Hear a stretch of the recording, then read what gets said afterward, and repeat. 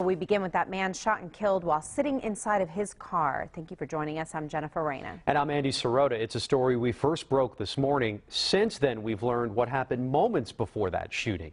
Channel 2's Courtney Gilmore joining us live along Collingsworth and DeShalm Street. And Courtney, witnesses say this man was beating a woman in front of children.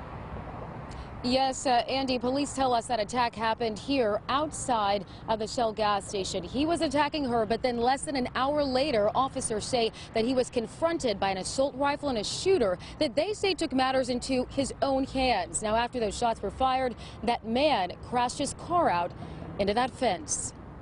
So we are actively working it. We have um, leads on the individuals involved. A domestic dispute. There's about 16 to 18 rounds fired. Sad.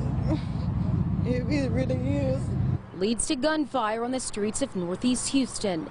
HPD homicide detectives arrived at the 3100 block of Collingsworth near 59 and found a man shot and killed inside of this gray Dodge Neon.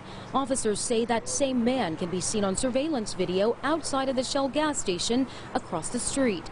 According to witnesses, around 5 a.m., he attacked his girlfriend inside of his car, hitting and grabbing her around the neck. About 30 minutes later, it looks like the woman who was being beaten had some family members or relatives or friends that showed up on the scene, uh, removed her from the assailant's car. Two children were also pulled out of the car, but after the driver took off, police say another man pulled out an assault rifle and started shooting.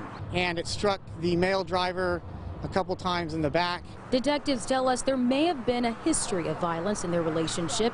Residents say the outcome today just adds to the distress of an already painful situation. We all human, we all bleed the same, we all come from God, you know what I'm saying?